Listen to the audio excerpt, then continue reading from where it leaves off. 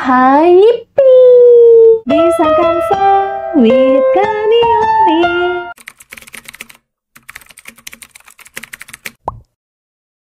Hai semuanya, kembali lagi bersama Fiani dari Kanioni. Pada video kali ini, aku mau ajak teman-teman untuk bikin Instagram post ucapan Hari Waisak yang akan kita peringati pada tanggal 4 Juni 2023. Teman-teman bisa membuat ini menggunakan Canva Free aja loh. Dan kalian juga bisa pilih variasi warnanya sesuai keinginannya kalian. Misalkan kayak gini, atau kayak gini, atau mungkin kayak gini. Teman-teman udah lihat hasil desainnya? Yuk kita langsung masuk ke tutorialnya. Seperti biasa, teman-teman bisa masuk dulu aja ke canva.com, kemudian sign up atau login terlebih dahulu. Setelah itu, kita akan pilih template Instagram post. Di sini aku akan pakai template Instagram post yang ukurannya 1080 dikali 1080 pixel. Setelah teman-teman masuk ke blank page seperti ini, langkah pertama yang akan kita lakukan adalah masuk ke bagian elemen. Teman-teman bisa search aja Canva, ID, Landmarks. Di sini teman-teman masukin keywordnya itu jangan dikasih spasi dan di landmarknya ini pakai huruf S di belakangnya ya teman-teman. Kemudian kita klik enter. Kita klik grafik di sini ada beberapa pilihan elemen gratis yang berhubungan sama bangunan-bangunan penting di Indonesia. Karena di sini temanya itu tentang Hari Waisak, nah kebetulan aku baru lihat nih Hari Waisak ada diperingati di Candi Borobudur. Makanya aku mau cari elemen yang menggunakan gambar Candi Borobudur. Tonton bisa klik aja yang paling pertama ini. Ini gambarnya Candi Borobudur teman-teman bisa perbesar aja sampai kelihatan nih area candi dan juga patung Budanya. Teman-teman bisa atur posisinya di 3 per 4 desainnya teman-teman. Kalian bisa taruh elemennya ini entah di sebelah kanan ataupun di sebelah kiri. Pokoknya terserah teman-teman aja. Untuk video kali ini, aku akan pakai posisinya itu di sebelah kanan. Selanjutnya, kita ganti dulu warna latar belakang desainnya kita. Teman-teman boleh pilih aja variasi warna yang pengen kalian pakai. Tapi di sini aku mau bikin variasi warnanya itu mendekati warna yang ada di dalam elemennya. Teman-teman bisa klik dulu aja satu kali di bagian background colornya. Kemudian kita klik tanda tambah kita pilih yang eyedropper ini, terus teman-teman arahin aja ke salah satu warna yang ada di dalam elemen ini. Aku akan pakai warna oranye deh, teman-teman. Oke, di sini aku akan pakai warna oranye. Cuma aku lihat warna oranye ini terlalu keterangan, teman-teman. Jadi aku mau turunin sedikit aja supaya dia lebih gelap gitu shade warna oranye. Untuk kode hexnya E6 9444E. Setelah itu, kalau sudah, teman-teman bisa klik lagi elemen. Di bagian search, kita cari gradient. Kita klik grafik, kita pilih yang ini. Nah, di sini teman-teman taruh gradiennya itu menimpa perpotongan elemennya. Jadi di sini kita timpakan di sini, teman-teman. Kalau misalkan nih elemen kalian di sebelah kanan, contohnya kayak gini nih, Berarti gradiennya kalian putar dulu 180 derajat baru kalian timpain. Gitu ya, teman-teman. Oke deh, di sini aku timpain dulu gradiennya. Kita perbesar. Kemudian kita ganti warnanya. Untuk warnanya, dari warna ungu aku ubah ke shade warna yang kita pilih, yaitu warna oranye.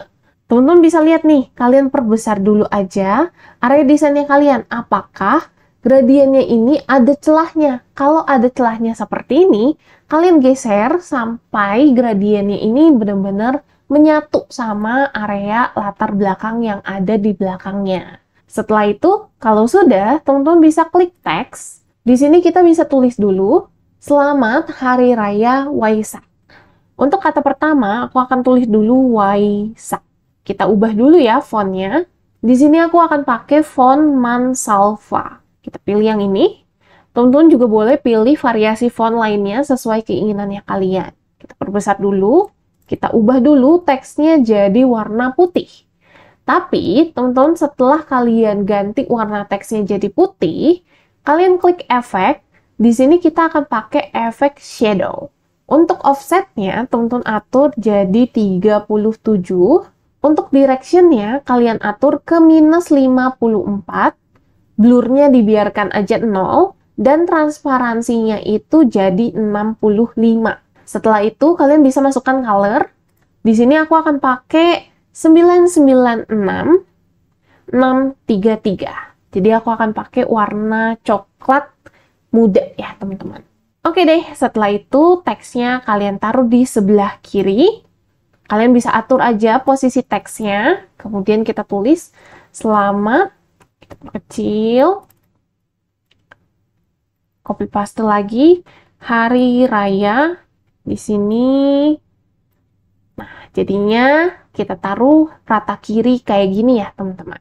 Oke deh teman-teman, untuk bagian highlight utama teksnya, yaitu Selamat Hari Raya Waisak, itu sudah aku masukkan. Next, aku mau masukkan ucapan atau quotes yang berhubungan sama Hari Waisak ini. Yang pertama, kita akan masukkan dulu elemen, kita klik line and shape, kita masukkan line, kita ubah dulu jadi warna putih, Kemudian teman-teman bisa atur line weight-nya menjadi 20. Kemudian kita pindahkan ke atas. Kita perkecil dulu sedikit.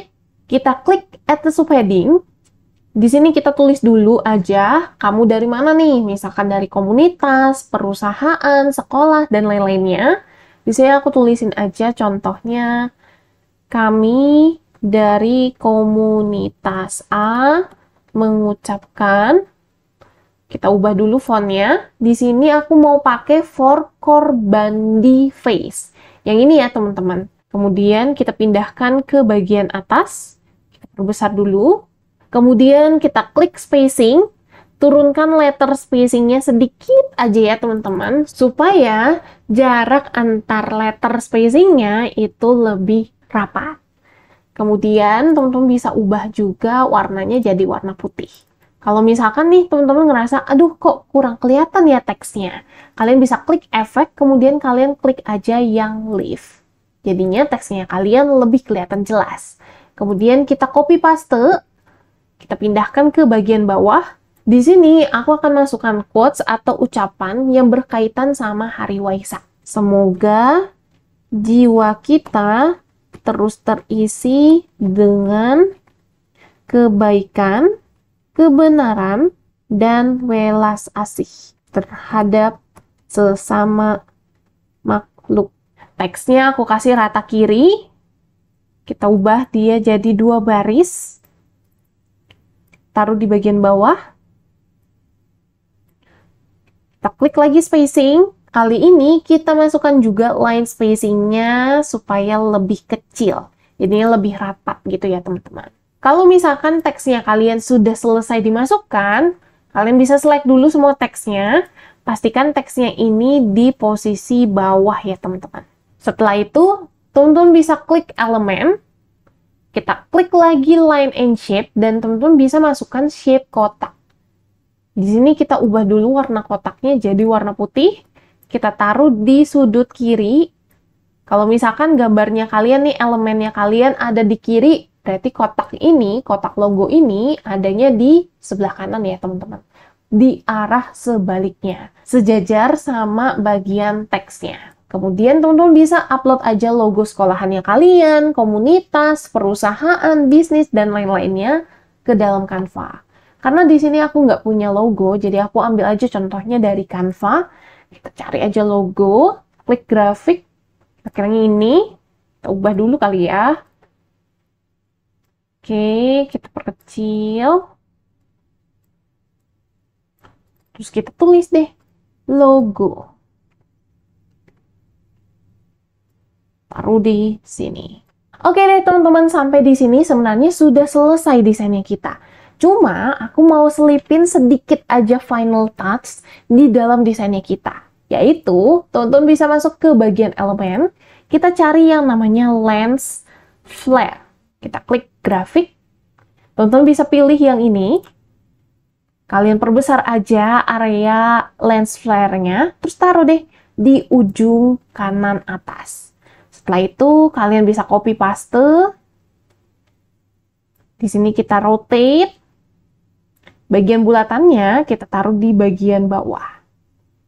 Kalian juga bisa atur variasi lens flare-nya sesuai keinginannya kalian. Ini ada beberapa jenis yang tersedia di Canva Free. Tonton boleh pilih aja sesuai keinginannya kalian ya. Kalau misalkan desain kalian sudah selesai, kalian bisa klik share, kemudian kalian download, downloadnya sebagai PNG. Oke deh teman-teman, gimana? Simple banget kan untuk bikin Instagram post spesial Hari Waisak? Yuk langsung dipraktekin juga, jangan cuma ditonton doang.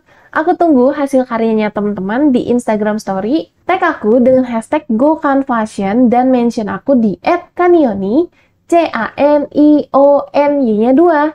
Thank you semuanya yang sudah menonton tutorial ini. Semoga bermanfaat. Aku tunggu hasil karyanya kalian. Aku pengen lihat nih variasi versinya kalian juga.